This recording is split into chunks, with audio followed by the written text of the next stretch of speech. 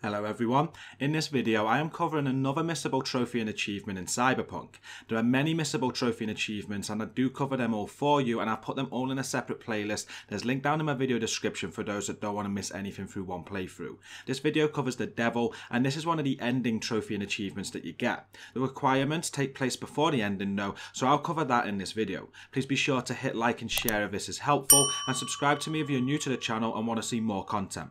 So the mission that you want to look out for is right near the end of the game and it is called Search and Destroy. This is a short mission and near the start you're going to fall through the floor before you are tasked to exit the building. There is a hidden objective here though and that is to save Takemura.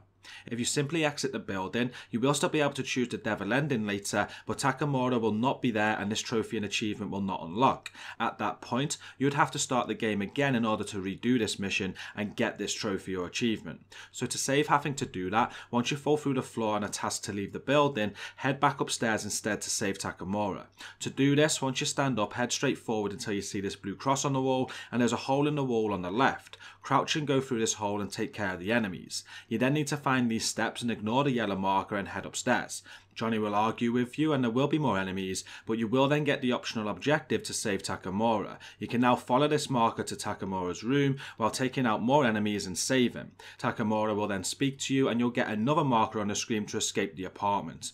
Follow this now and take more enemies out, but just make sure that Takemura is following all the way and don't rush it. Once you get to the main door, you'll collapse and as long as you see Takemura at this point, you have done the requirements needed for this trophy and achievement and you can no longer miss it.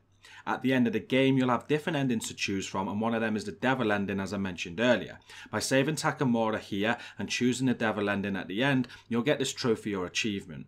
There are multiple endings to choose from, but don't worry because after every ending, you go back to a save before the last mission and can check out more endings. And this is it for the video. Again, if this has been helpful, be sure to hit like and subscribe and go and check out my video description below to find more Cyberpunk content and a playlist with all the missable trophy and achievements in it to guide you on getting them.